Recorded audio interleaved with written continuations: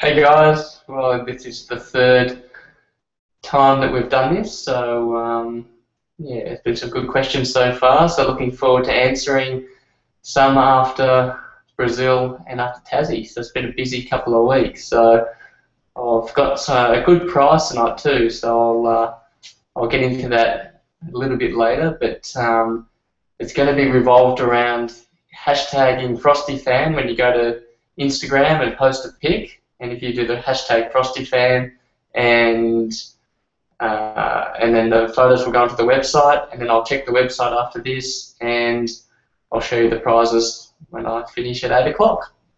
Alright, Nicholas, um, what did I think of the HRT's April Fool's post? Um, yeah, it was pretty, uh, it looked pretty good actually. I saw the, the truck driving across the water, but I got roped into doing one with Bathurst, and um, yeah, it was a pretty average skid, on the our one, but um, would be good to do Bathurst in reverse. So when they come round, I sort of wanted to believe it, but um, unfortunately, April Fools is when they do all their all their skids. Um, what did I think about a second Bathurst event? And do I hate Whincup.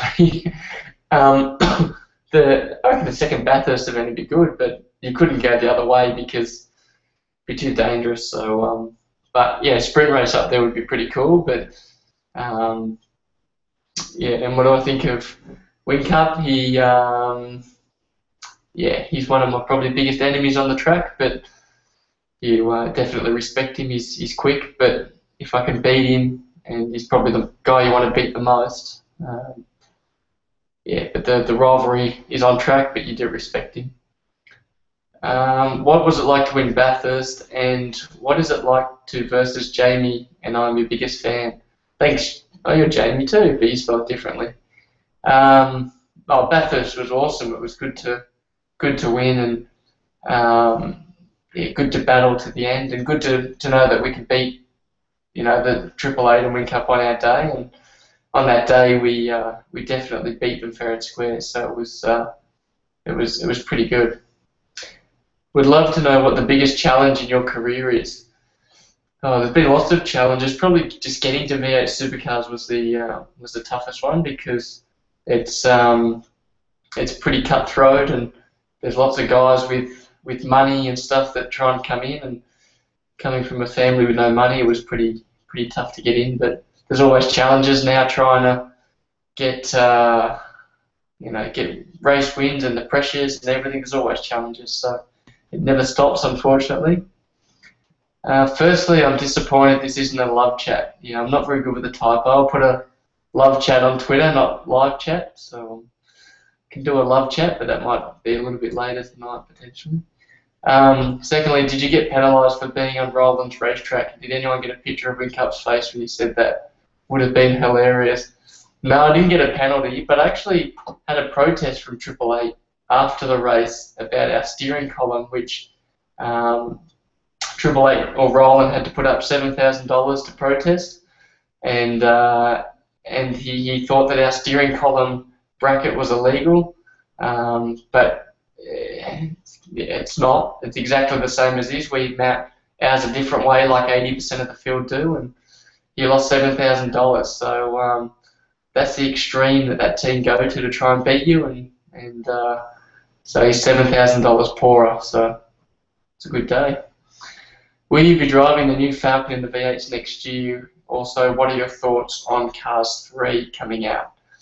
Um, I don't know about Cars 3. Hopefully, if it comes out, I get another gig, but um, yeah, I don't know about that one. And the Falcon, I doubt we'll drive a Falcon too far into the future, but I'm not sure. I'm not sure what next year will bring. We um, it'd be nice to get a new um, new car, we could then do a new aero kit. And um, the way the manufacturers are now, you can be pretty aggressive on your aero kits, and it's about time we got an upgrade. So um, it'd be nice to have something different. Did you see the incident between Lowndes and Whincup, and who would, do you believe was at fault?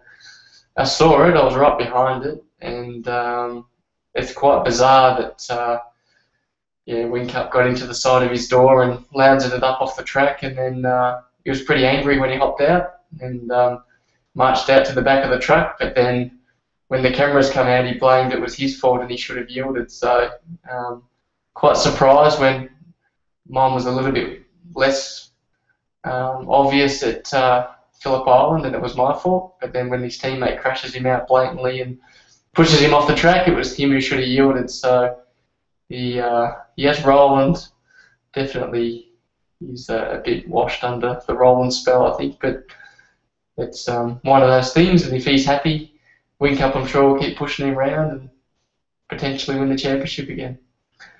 Have you watched Cars 2 yet? We've watched it a few times.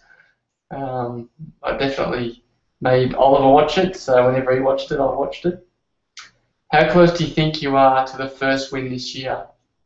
I think we're uh, we're struggling a little bit. There's no doubt that this year's been tough, but um, yeah, I finished second at Symmons Plains, and yeah, that, that's a track that uh, you know that where we're deficient probably will show up more. So um, so I don't think we're too far away. If we get it right, there's no reason why we can't win. But um, it's actually quite yeah, it's quite tough at the moment. So we just need to get it right. The biggest issue is the uh, the car is so sensitive to, to changes, so we're doing the smallest change and getting a massive consequence. So if we get it right, we're okay, but we just need to be consistent, and that's where we're where we're lacking at the moment. Why do you hit the accelerator when you are braking and going down the gears? Also, what gear do you use when you do donuts at the end of the race? Um, we heel toe. It's called heel toe. So um, the idea is that you you brake and you match the revs with the gear so then you don't get compression locking. And when you compression lock, it, it means that the rear end will lock. So you want the car to be stable and uh, and yeah, you, you, you pretty well downshift to match the revs and to make sure that the uh, the car's stable. But um, you see people with left foot brake, they don't use the clutch, but they always downshift with the throttle. Um, and for a burnout, it's first gear. So first gear, lots of revs, and dump the clutch and turn left and keep going around in circles pretty pretty easy, but um, pretty good fun because it means you've won the race. Question for both you and Renee. Before Renee met you, did she have an interest in or follow motorsport? And do Renee and your sons go to every race?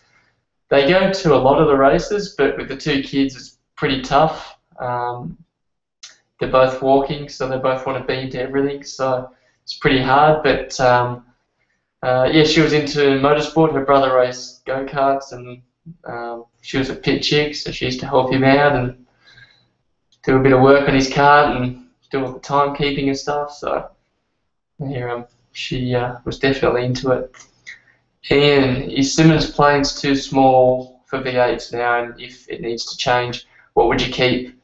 Um, good to see you on the weekend, Ian. It's good that you're part of the membership and the the uh, that little chat around the boardroom. That was pretty cool. Um, I love the track. I think the track is big enough. Um, it's long enough. It just means you do double the laps, but when you're sitting on the hill, you just you get to see it twice as much. So um, I think it's a good track. I don't think they need extending. Maybe some facilities could have an upgrade, like um, up on the hill. You could probably get a bit of a, a bit better facilities potentially up there. But the way that they did the the, the park the car park and everything. I thought they did a really good job. So um, yeah, I think the track's fine and um, yeah, no issue. I think it's I think it's really good. Have you done any laps around Winton this year? If so, how was the car speed?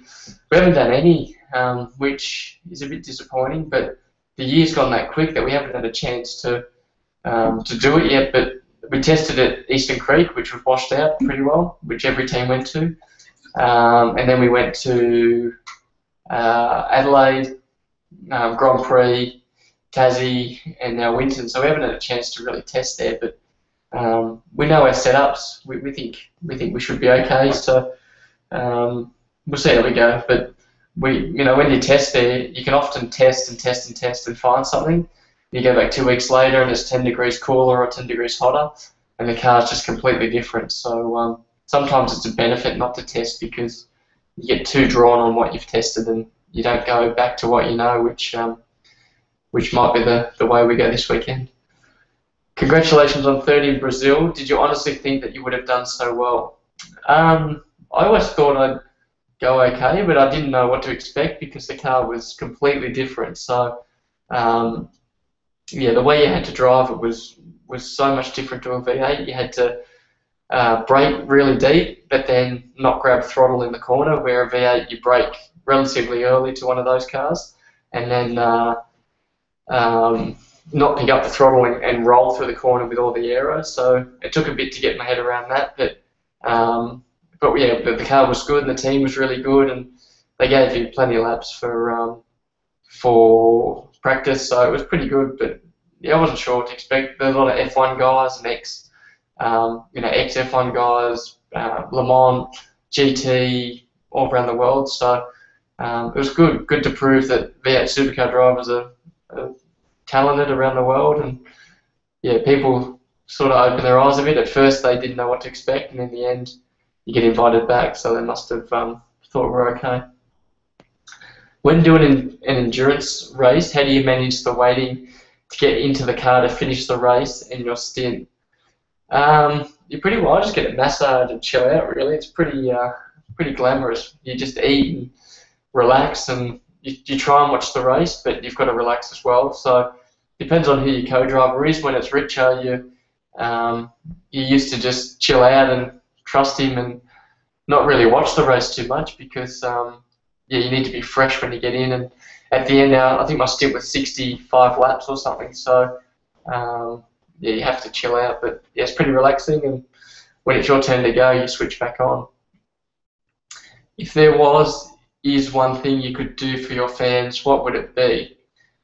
Oh, it'd be a live chat. That's why I'm doing it. I think it's good to to at the track's hard, and you'd love to give back to plenty of people. I'd love to put everyone in a race car to um, to show what our cars actually do, but um, yeah, the team probably wouldn't ex- wouldn't like that idea because it cost them a fortune. But be nice to yeah show what our cars can do. But other than that, you try and give back as much as you can. Halil, my old schoolmate. Um, well done on the Bathurst win. I have two. First, how was Brazil and what did you think of Interlagos? I know teams up and down the lane have smartened up a lot, but surely FPR can't be behind the eight ball. Good luck this weekend. Thanks, mate. Um, yeah, Interlagos was awesome. The track is really cool. It's um, it looks a lot different to TV, probably like Bathurst, where it looks quite flat, but when you get there, it's uh, it's really it's really um, undulated and up and down, and some fast corners and um, and stuff. But yeah, the culture over there was completely different. They um, they all have a prayer before the race, so it's kind of a bit intimidating when you drive out of pit lane and the mechanic's doing the sign of the cross, and you just hope hoping he's not just praying that he did every wheel nut up on the car because it's not that confidence inspiring when you drive off and he's praying that he's done his job properly. So um, that was new, but um, really cool. All stood in a circle had a prayer, prayed for safety, prayed for performance, and um, yeah, just really different and really enjoyable. I really liked it. Um, awesome job this year. Does Shippy work in a different way to James Small? If so, how does he? He works completely different, which um, every engineer is unique, but uh, James was a racer. He um, he raced himself, so he sort of went about it in a racing mode.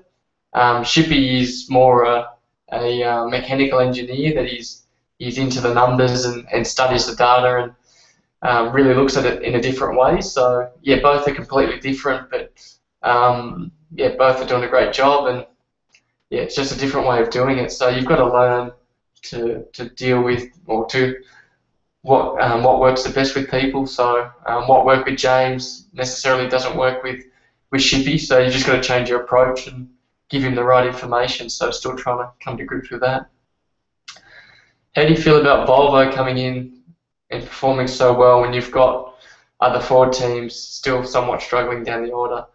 Um, it's good that teams come in and, and do well. It's uh, um, you know I think the, the, there's, a, there's definitely a bit of parity going on and stuff like that. But they've come in and done a good job. They've got uh, good engines and, and good aero and a good driver, so they're doing a good job. But you um, you can't alienate the, the brands that have been in the sport and built this sport.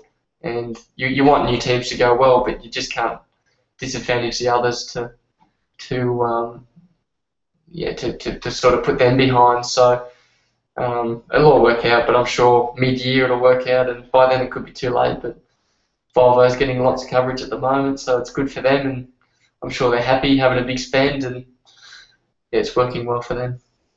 Um, loved your Saturday press conference. When are they going to adjust the Falcon Aero to make it even?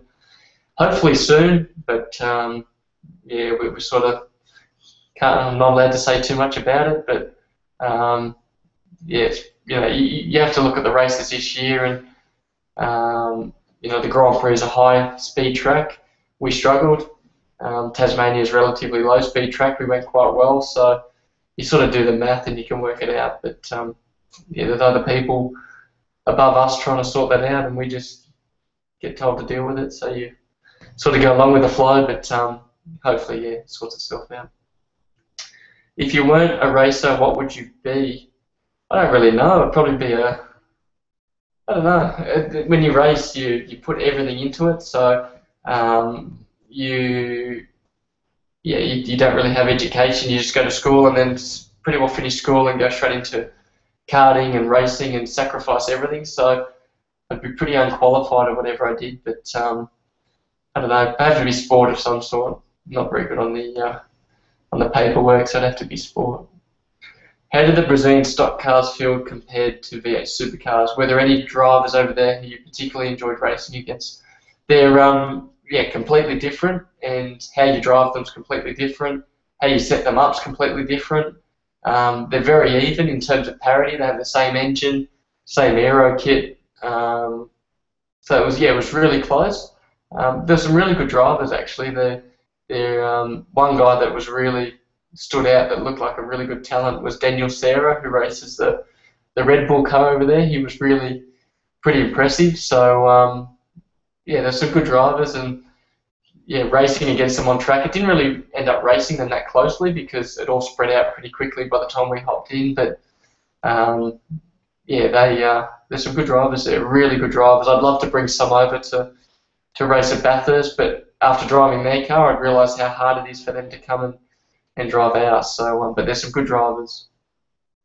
If you ruled the sport for a year, what rules would you implement? Um, I don't really know. That's a that's a good question. Um, the the chopping and changing, I'd, I'd definitely get rid of because um, yeah, it's it's hard. Like you know, safety car restart stuff like that. When they're chopping and changing, you get a little bit confused on what you're allowed to do and what you can't do. And um, it's all good when you read a rule book, but when you go in the car and the emotion and the adrenaline's going, you um, yeah, you sometimes forget about what you just read. So maybe I just keep more consistency in the in the rules, but um, maybe a reverse grid race. Bring a reverse grid race back. I thought that was pretty cool. Do you feel any resentment towards Will now he's jumped ship, and are you ever tempted to accidentally run him off the track? Um, no, I don't feel resentment. He um, he's pretty happy with the move he made, and he got a good result on the weekend. So I'm sure he's um, pretty happy, but he ran off the track himself. So uh, yeah, I wouldn't run him off the track. He's a good guy, Will. Just um, enjoying where he is, and hopefully we beat him. That's the that's the main goal. But um, yeah, no resentment there for sure.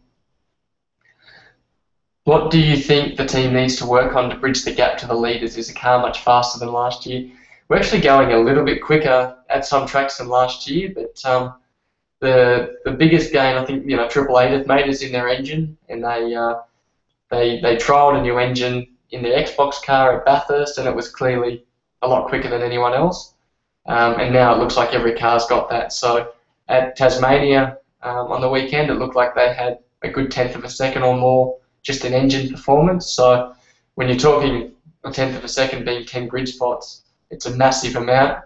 And when you see Lowndes driving from the back, he passes people down the straight.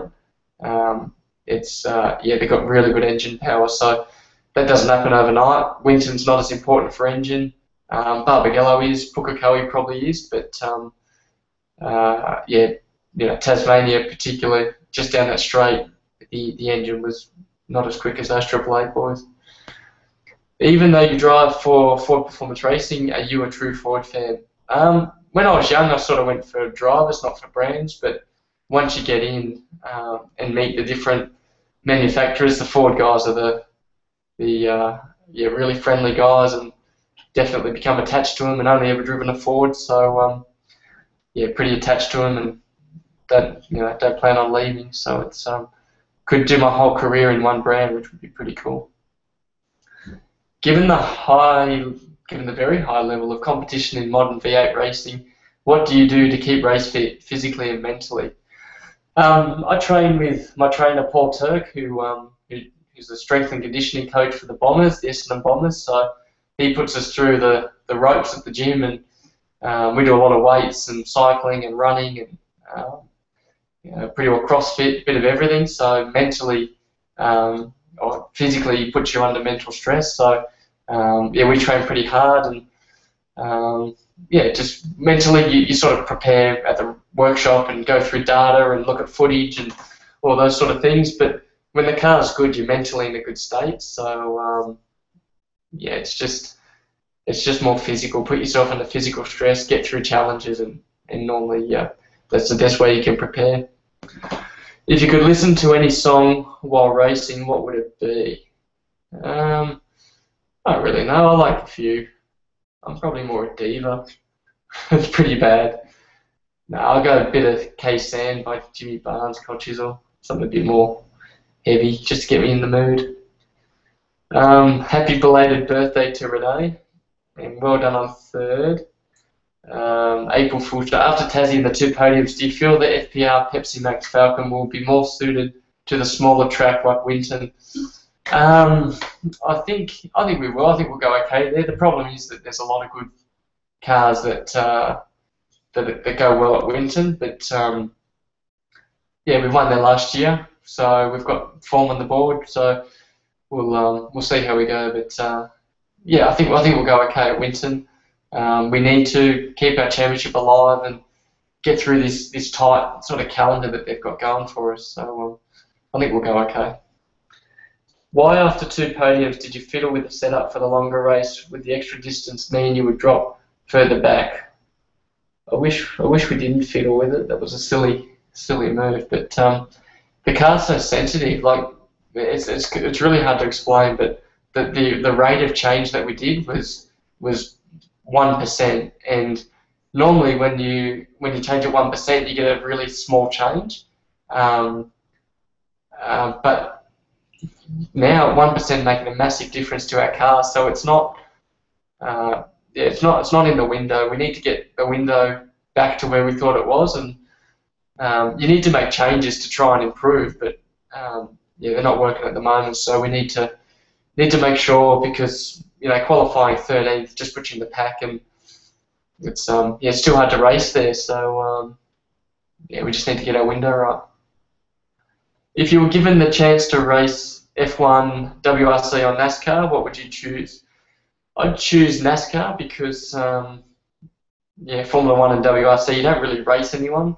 NASCAR, you race side by side, and yeah, you really, uh, you really, you know, have to race, and that's that's the good part about racing. So, um, yeah, I choose NASCAR over any, but out of pure pure car, you just drive a Formula One. If you could just go and do some hot laps and take a car for a fang, you you take the uh, you take the F1 car. Um, can Red Bull be beaten this year? Um, I think they can be beaten for sure, but pretty tough. They've got good engine, they've got good cars, good drivers, so it's going to be uh, quite tough. But if I get the chance, I'm going to definitely put the car there and have a crack. So um, I hope we can. Uh, been a massive fan of Sim oh, the Brazilian stock car game. I'm hoping you know it's based around the Brazilian stock cars. In the sim, the cars look awfully cramped. Are they like that in real life? Um, it's actually a really good game. I used the game to practice for um, to practice for the Brazilian stock car. So when I went over there, I already knew the track and knew the car, and it's actually really realistic. It's a good game. So um, what you see is what they are, but they are more cramped. They're, they're very um, a lot smaller and more combust. They've got a big fuel tank in the side of the car, and they've got um, they're a lot shorter than our cars. So yeah, it's not much there's not much room in there, but um, but yeah, how you play it is how it is in real life. It's it's really cool. Frosty, do you do drivers have their own nicknames for their cars? Um, no, I don't have a nickname for mine. I would have had a good one on Saturday and a bad one on Sunday, so probably good not naming my car, but um, no, I'll have to come up with one. We should do a bit of a comp for uh, for who can come up with the best nickname for the car. We might do that. Might do it for next time. Come up with a name. Why aren't we fast out of the box on race weekends? We seem to be behind the eight ball. I wish I knew the answer for that one. We, um, yeah, we just don't have a setup at the moment, and it's, um, yeah, it's quite quite hard, and um, yeah, it's, yeah, I don't know why. So we need to definitely work to um, to to get on top of it, and uh, yeah, we're trying. We're definitely working, and, and people at the workshop are really trying to do it. So um, yeah, hopefully we get there, but um, yeah, we, we are struggling out of the out of the box, and it, it, it's hard to tune the car back over a race weekend. I'm an up-and-coming female race car driver and would love to race against you in the V8s one day. I work at McDonald's and struggle to get sponsorship. I was wondering if you had any advice to help get me there. It's yeah, it's hard. It's um, it's hard to get the, the, the sponsorship and stuff to get there, but you know, karting is the best way. You start in go karts and then try and work your way through. But people watch if you if you do a good job and um, have a good time and and uh, yeah, get results. There's definitely people watching. You know, people like um, like Chaz were, uh, were, were watched in go karts and Formula Ford, and the big teams now are looking for the younger guys to come through. So and girls. So um, yeah, you you you just gotta uh, keep at it, and there are people watching, and just um, just do your best. Would you consider moving to either Erebus, Nissan, or Volvo if an offer was put forward to you? I didn't even contemplate looking at any offers, and Ford, I've been at Ford my whole life, so I'm there for another three years minimum, and um, yeah, i would like to stay at one team and one brand for my whole career. So um, yeah, I don't, I don't know. You never know what the future brings, but uh, I, I think it was unlikely. what have we got? I just want to know what you reckon about Jamie Whincup and Craig Lowndes getting together. Uh, I already yeah went over that one a little bit before, but um, it uh, yeah it's good to see because it, it creates racing and, and know I think you got to have teammates racing each other and they just move over. It's not really that good for the sport, so I thought it was good. Hey Frosty, no disrespect to Chaz, do you find it more challenging working alongside a young gun, just starting, or a seasoned campaigner like Steve or Will? Um, I think it's good. You know, Chaz is. It's good to have a, a guy, um, you know, young. The, the only thing they lack is the ability to, to develop a car because they haven't had years of experience. But it's nice to, um, yeah, it's nice to work with a young guy and and uh, you know, and see where they're going to be in the future and how they approach racing. What they bring compared to an older guy or a seasoned guy is is enthusiasm and, and excitement. Some of the older guys get a bit stale, and it's probably me included. We get a bit grumpy and miserable. So the young guys just love it, and um, yeah, you sort of soak up all that. And you know, Jack Perkins as well, and they're, they're both hungry. First year really at the factory team, and they're both hungry. So um, yeah, yeah, I, I think it's good having the younger guys because you do you do draw from a bit. How did I get the nickname Frosty? With the name Winterbottom, I got called lots of bad things. So um, Frosty was the most clean PG rated one. I could I could tell you a few others, but Larko was the one who called Frosty. He's big on nicknames, so um, yeah, just stuck from there really. It's awesome the time you give to your fans, truly appreciated. These chats bring us into the sport like our very own debrief. Do you get nervous before every race, and how much do nerves play a part in how well you perform? How do you overcome them? Um, thanks for coming on. It's good that people come on and want to listen to my debrief. but um, you get nervous. You still, uh, like, you, you don't really get too nervous, but you still go to the toilet before every race, and you still get that churn in the tummy. So I think the day that that goes, you, you, you'd retire because that's where you go racing. You, you, you love the adrenaline and the, the uh, you know the excitement of um, of racing. So you still get nervous. I want to do well, and um, yeah, just want to want to do well really. So that's the pressure you put on yourself, and it's um, yeah, it's a good sport, and the day that that goes, definitely, yeah, I think it's time to to, to give it up. What we got? What do you think will happen to you and V8 supercars when Ford and Holden stop production? Um, oh, they're, they're still going to be here, so um, yeah, they, they, it won't change. It's still going to support the sport, and it's um, yeah, I don't think it's going to change too much. Would you be excited to see Marcos Ambrose coming to V8 Supercars next year? If so, what do you reckon? Um, I would like to see him come back because um, you know when he left, he was on top of his game and he was uh, probably the best team at the time and dominated the sport. So um, yeah, I'd like to see him come back because I think the sport's changed a fair bit since he's gone, and he's a, he's an incredible talent, and uh, um, yeah, it'd be good to see him come back. But um, I'd actually like to see him in one of our cars because um, yeah, he, he sort of realise that uh, that the cars are not that easy to drive at the moment. So it'd be good if he come back. But um, he's doing a good job over there. I watched him finish position five the other day, and he's doing an awesome job. So um, there's no reason why we should come back. How did FPR organisation handle the accident between you and Perkins in Tassie? It was, um, yeah, it was a pretty crap sort of moment that one. So um, they were okay. Jack come up, he uh, he apologised because the car on the track has right of way, and that's how they sort of explained it in the driver's briefing. So um, when you drive out of pit lane, there's a blue flag, and then the engineer gets on the radio and says the track's clear or merge behind car five or however they say it. Um, but Jack's engineer didn't give him the communication. He drove out thinking it was clear, and um, yeah, unfortunately that was my car there. So not good. Created a bit of damage to my car. So he qualified poorly. Um, put him out of qualifying as well. So um, yeah, it wasn't wasn't good. But um, he felt bad, but no hard feelings to him. We um, shake hands, get on with it. But his engineer, I think, would be the one that feels bad for not uh, giving him the communication he, he probably wanted. What do you think of Baskerville Raceway? Do you think V8 would ever race there? I think it's crazy that track. I can't believe people um, yeah, raced there back in the day. It's, it's pretty uh, pretty cool track. It's, it reminds me of Amaroo, those real old heritage tracks. But um, yeah, there'd have to be a few upgrades there before we uh, could go race there. But they're trying to raise some funds for to keep that track alive. So hopefully, um,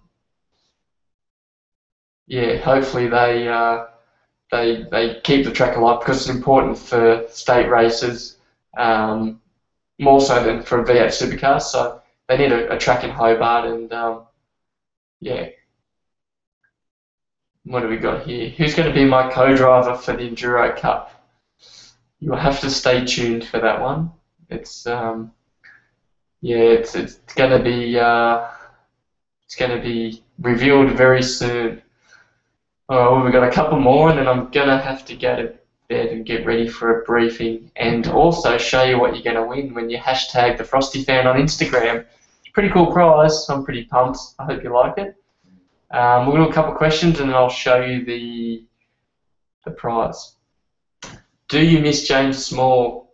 I do miss James Small. He's a very good race engineer, but at the same time, it's exciting having a new guy. But um, I know James is missing home. He was on the on the text all weekend at um, Tasmania, telling me what I was doing right, what I was doing wrong, what setups we should run, and sort of watching the timing, telling me where I was weak and strong. So he um, he's a very good engineer. So he is missed, but he's got two top tens in a row for his driver in NASCAR and that's the first time they've ever had uh, top 10. So um, he's doing a good job over there, which never really, uh, never really doubted. All right, we'll do the last one. Um, Frosty, do you think the AZ zones are a good idea on restarts?